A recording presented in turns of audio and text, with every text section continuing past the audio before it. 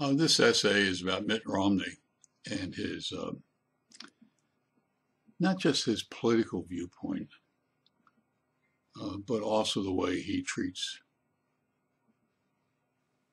you know, dogs. Um,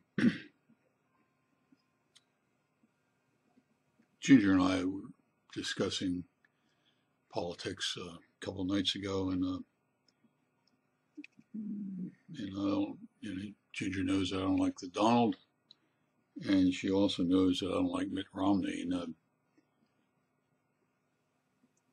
and and and so this is our conversation, and she she know uh, Ginger knew about what Mitt Romney did with um, his Irish setter. Um, and it, it just, it, you know, I love Ginger, and I would never do what he did to his dog about putting him in a carrier on the top of his station wagon and driving six, seven hours to a vacation site. But,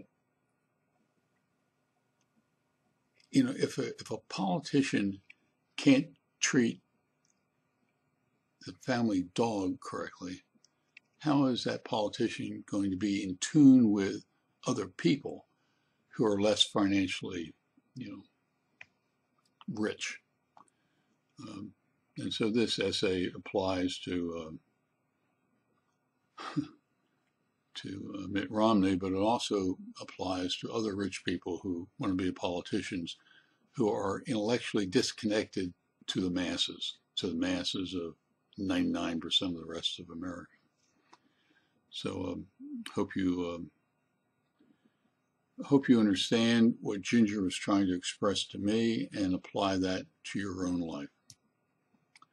Uh, in the meantime, thanks for uh, watching this video and reading this essay. And take care.